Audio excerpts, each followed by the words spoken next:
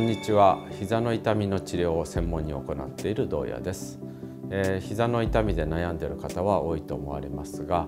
えー、膝の痛みの原因は膝や腰など人によって様々です、えー、そこで今回は膝そのものから来る、えー、痛みの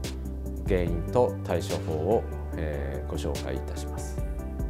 えー、2つの簡単な体操を行います、えー、どの体操で改善が見られたかそれを見つけてください。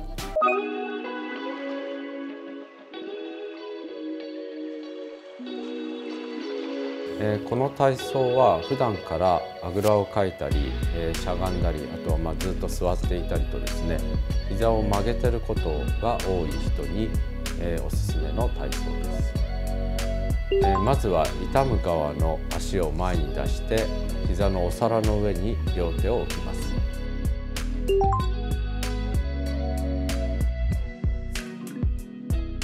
次に両手をにゆっくり力を入れて膝裏が伸びきるように押していきます、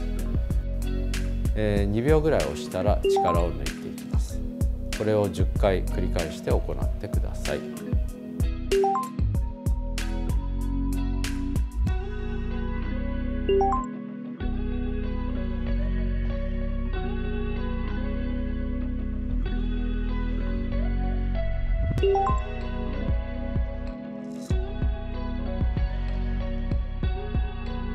体操を行う際の注意点はあらかじめ自分の膝の痛みの状態をよく把握することです、えー、椅子や床からの立ち上がったり歩いたり階段を上り下りするなどして、えー、膝の痛みが体操する前と体操した後でどうなったかということを、えー、比べていただくといいと。思います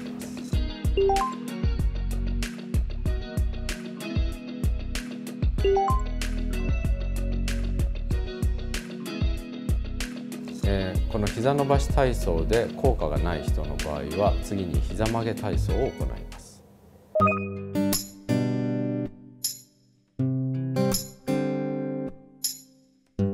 えー、この体操は先ほどの膝伸ばし体操とは反対で、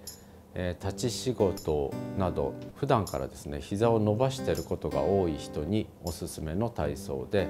まあ、普段の伸ばしている生活習慣とは逆の動きを行う体操です、えー、まずはですね、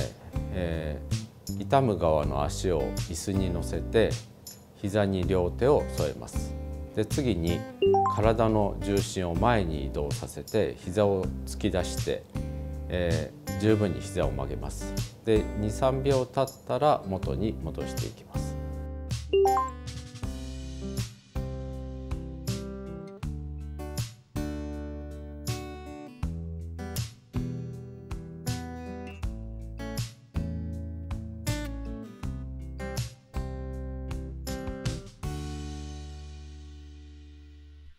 この体操のポイントはですね、えー、椅子の高さになります。足を椅子に置いた時に膝関節がちょうど90度ぐらいに曲がるのがちょうどいい高さになります。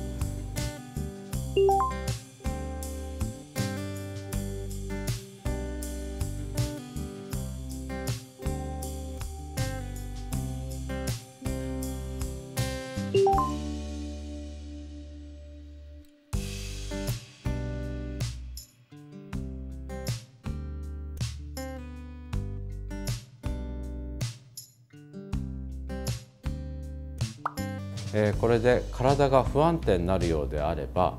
え椅子を背もたれ付きの椅子にしてで背もたれに手をついて、え安定させた状態で体操を行うようにしましょう。